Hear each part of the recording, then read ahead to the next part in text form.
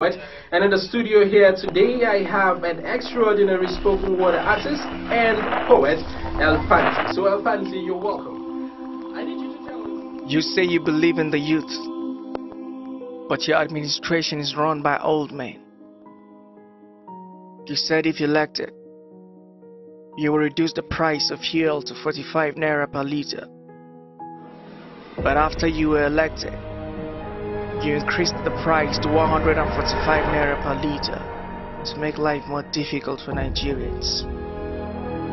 That's not enough. You promised to increase the value of our currency for 1 naira to be exchanged for 1 dollar. But after you were given power, you devalued our naira to be exchanged for 360 per dollar. You promised to give us capital to start new businesses but didn't. Instead, within four years of your reign, you borrowed over 13 trillion naira on our behalf so the young could inherit the debt.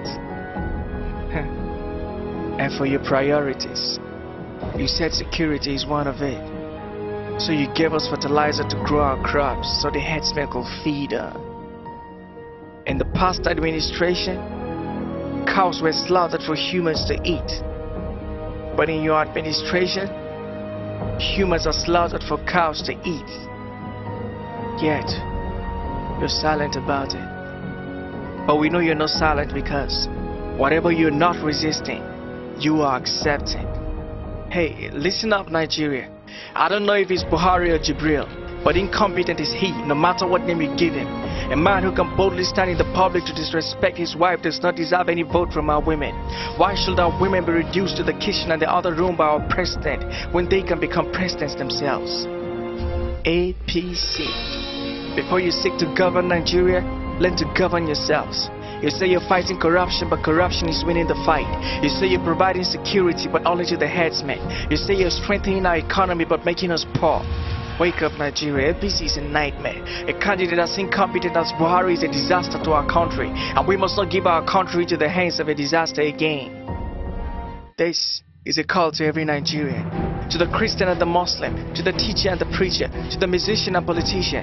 We must come together as a nation to take APC out of power, or we'll perish together as a nation.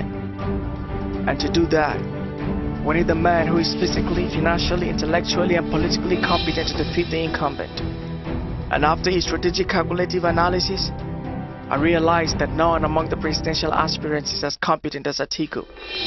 Not because he belongs to a major political party, or because of what he said he would do, but because of what he has done and who he is. We need a leader who will unite us, not divide us. A leader whose position in Aso Rock will make every religion, tribe, and region have a sense of belonging. So we all can proudly say, we have a leader who carries all of us along without any form of prejudice or bias. I see Atiku as a symbol of unity in Nigeria.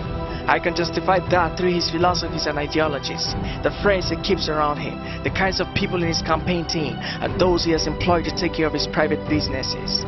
I see people from all over Nigeria working with him. That's the kind of person Nigeria needs as their president. A leader who will bring us closer to each other and remind us that Nigeria belongs to all of us, and its success depends on all of us.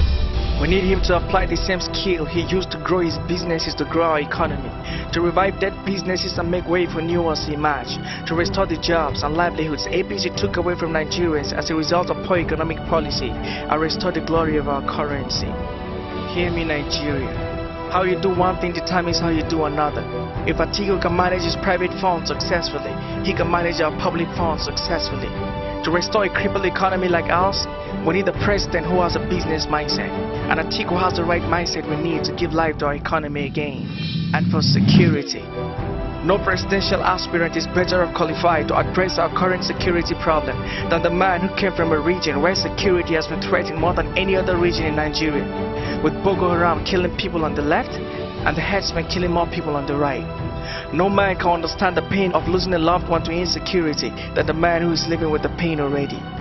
And Atiku has in one way or the other lost a brother, sister, friend or relative in the northeast to insecurity.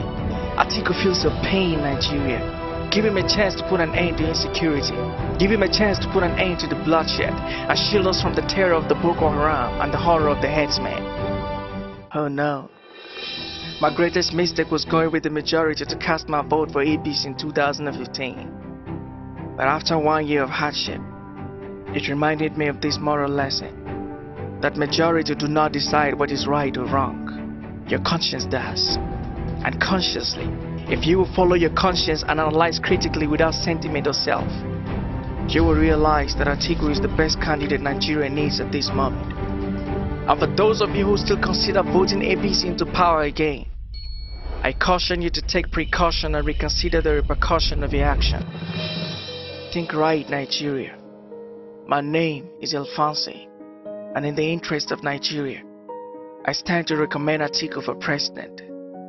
What are you waiting for? Stand with me. God bless Nigeria.